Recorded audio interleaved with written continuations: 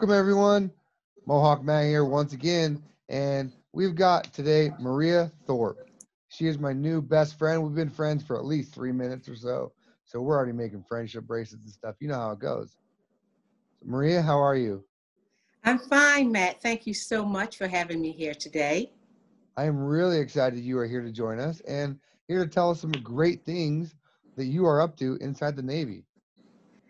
So what we do in the Human Systems Department is, I like to say, we take a take care of the human. So anything that the human touches or touches the human, we are responsible for. And we're also responsible for integrating the human into the platforms that they may fly in or work in. So things like night vision systems, uh, laser eye protections, all of the gear that the aviators wear, like their helmets, their breathing mask, uh, all of the flight suit gear, um, the ejection seat that gets them out of an aircraft in a situation, the breathing systems that they use to breathe at high altitudes. Yeah. So, again, anything that the human needs in their work environment, we are responsible for providing as well as integrating that human into the systems that they are flying in or using. That is fantastic. That's really great that there's a whole team and teams of teams of people focusing on that because I think a lot of the attention gets like the technology or the science or the kind of the hey, did you see my new iPhone or did you see my new laser beam that just can do things? But yes. if we're not thinking about the human, and so I think it's awesome that you guys are doing that. So absolutely, Maria, how did you get to where you are? Were you like five, ten years old, and you're like, one day I'm gonna take care of humans? How, I did not. I did not. Uh, well, I went to school for engineering, electrical engineering, studying okay. control theory, digital signal processing, things like that. And while I was in school, I went to Drexel University, and we have what's called a co op program. So you go to school, and then you come out and you go to work. Well, I had done a stint in industry, but uh, the Navy was looking for female who were studying engineering in college. And I, I got connected with the individual who was uh, involved in that, did the interview, and I was selected to be an, a woman, an engineer for the Navy. So that started my career, and I worked at Naval Sea Systems Command first, working on cruisers and destroyer type ships. Uh, from there, I transitioned to work for the Air Force, working on aircraft for there, and then culmination coming to work for NavAir. So I had the sea side and the air side, okay. and I put them together. So that's how I started working for the Navy. That's incredible. So you, you mentioned a few different sciences in there. I like so some of the people we've talked to, they're kind of really focused deep, heavily focused on one kind of technology area, like maybe electrical or mechanical. But human mm-hmm. systems engineering, how many sciences are kind of involved? Like you're looking at around the spectrum, correct? Absolutely. It takes so much to take care of the human. I like to say, you know, often we think about hardware and software, but when you put the human in, it becomes hardware, software, and human, and that gives you your total system capability. So in my area, I have folks that are traditional engineers like mechanical and electrical, yes. uh, aerospace. I have uh, computer scientists computer engineers, but I have also technicians that can work with the equipment that they will need, the human will need to do their job. I also have the medical side of the house. So I have medical doctors, I have PhDs, I have neuroscience, I have biomedical folks. So I have a wealth of people. I also have the neurological and the mental side. So I have psychologists, psychiatrists, physiologists, so just the whole component of the human and everything that it takes to make that human be its most effective is what we do in our group. Fantastic. And and when you say I, it's not like you have them in your pocket. You all kind of work together to this human systems mission, correct? Absolutely. I have approximately um, 200 plus folks in that uh, in my particular office in the Pax River area. Okay. And we also have about 25 facilities that they can go in and do their research and their testing that they need to do for the systems that we're developing. That's great. And so what are what is going on right now? Is there any specific new technology or are you guys using things from 80 years ago? What are you up to right now in human systems engineering? Well, of course, the human has an advance, but their ability to do things, and the human is a complicated person. Yeah. And so, some of the things we're looking at is the ability to be able to protect them in the different environments. So, we're looking at things like sensor technology. We look at things like modeling, the digital human model. Uh, we're looking at things like advancing the capability and crash for the human to return safely. Um, we're doing research in things like autonomy awesome. and uh, artificial intelligence and different types of man unmanned teaming. So Okay. we're looking at the human from the area of where they are and where we see them going in the future. Um, Star Trek was one of my favorite shows when I was going growing up because they would go to different places and different lands, and the the, the, crew always had to adapt. And Yeah. so the human is an adaptable part of our system. And so when we provide them a product, we think we might have made it specifically for them, but inevitably there's some tweaking that we might have to do. And they're just so important for us to communicate with. So we have that going on the communication, the activity that goes along with that. So, yes, lots of activity for the future, especially in cyber, autonomy, and uh, automation. That that's excellent. One earlier you kind of mentioned people focus on kind of the software, the hardware. You focus on the humanware. Yes, The absolutely. hashtag humanware. I'm I'm, I'm coining that hashtag now. humanware. And, and remember, there are also different things that they wear for different scenarios. So if you're going on, you know, a ship to do something, you might have a certain configuration.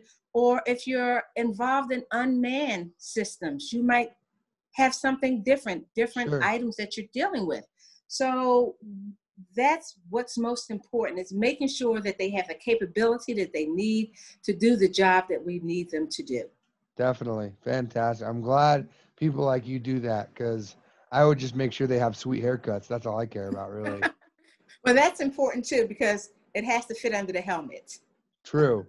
True. I mean, maybe I need your team to make me a helmet that doesn't push my mohawk down, but lets it fly its flag, you know? Yeah, we'll, we'll make a special helmet just for you and we'll elevate the part down the center um, to make sure that your your look is perfect. Perfect. And then and then we got to make sure we put a mohawk on top too, so you know it's me, obviously. Absolutely. I've seen some of those, but mainly those are motorcycle things. Ah, yeah. Probably not great inside of an airplane. Not always, not always. Uh, so Maria, where where do you think this is going? Do you are you seeing like the tech? I know you said some of the things you're kind of researching in, but yes. are you? Where's Maria think it's going? You're like one day we're probably gonna have like biosensors in our brains so we can just know Yes. immediately, or where do you think this is going? Uh, we want to take it as far as we can. We're looking at biometrics as a uh, just looking at the whole human. What are the capabilities? How can we make the human uh, just an integral part of the system?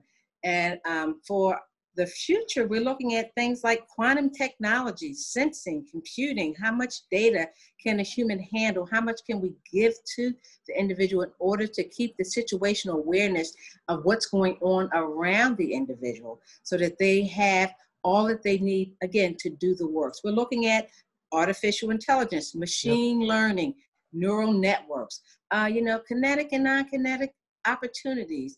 Sure. Uh, we're looking at the electronic warfare, full spectrum of items.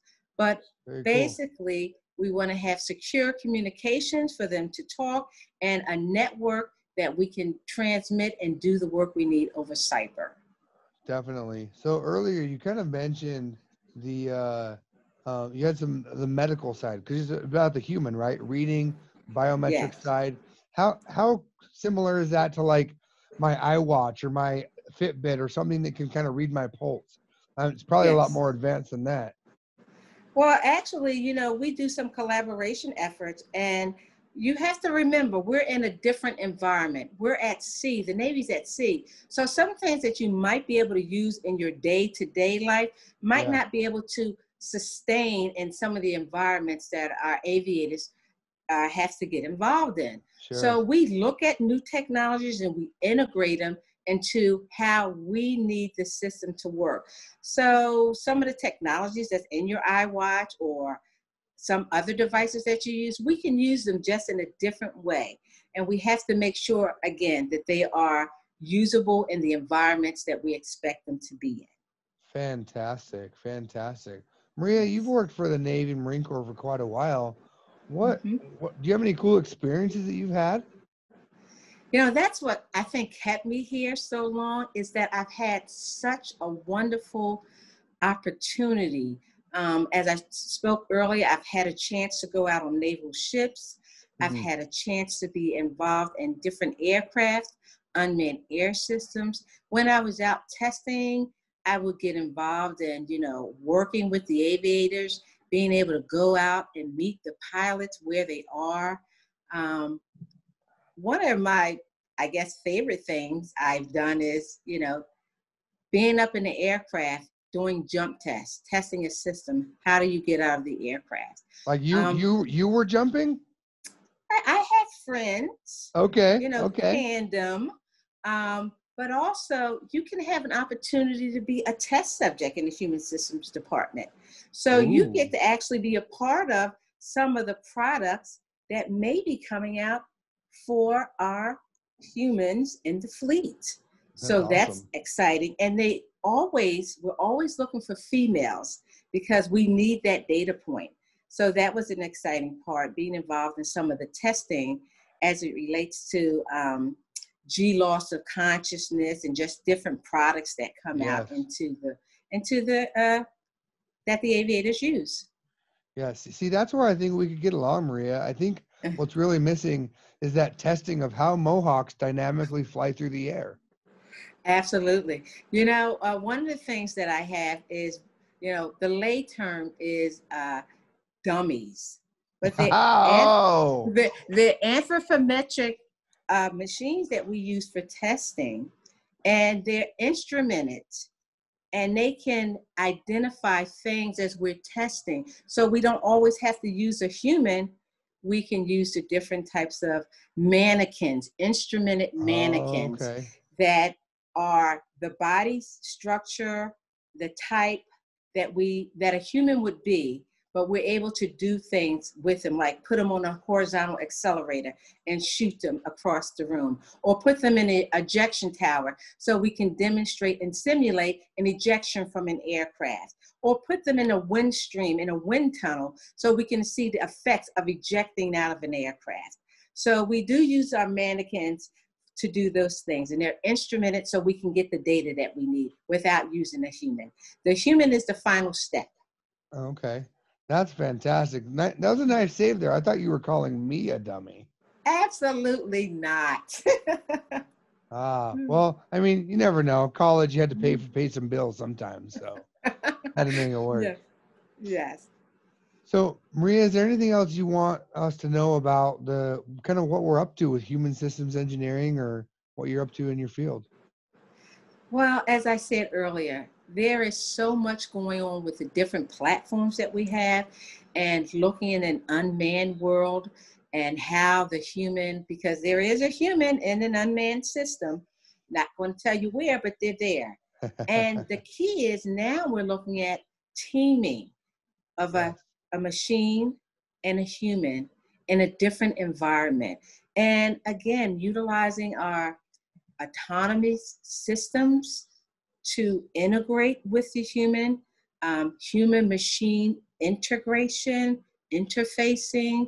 Um, how are we going to get the best out of the human in the Yes. environments that we need? So we will continue to look at those items as we come into the future and being in the environments and looking for ways that we can keep them safe. Fantastic. I love being kept safe. That's that's Uh, great. yes, absolutely. So that's excellent. Absolutely. Well, thank you, Maria. I really enjoyed talking to you today. Well, thank you so much, Matt. It has been extremely exciting uh, being able to just share some of the things that you know young folks might be interested in. Yeah. Again, exciting times to be in the Navy right now. Yes, it is. Yes, it is. Thank you again. So Thank you. You're welcome. You all heard it there. There's some really cool stuff that isn't just technology. A lot of the Navy and the Marine Corps is focused on the human, on the person, on you, whether you are helping develop it or whether you are the one that may use it one day as a service member or someone else. Because a lot of things that we develop become things in the commercial world. So we're really excited to hear what you guys have to think about the human systems engineering side, where you think it is and where you think it's going and most importantly, where you are going to take it because you'll probably take it to the next level. So thanks for tuning in and have a great day.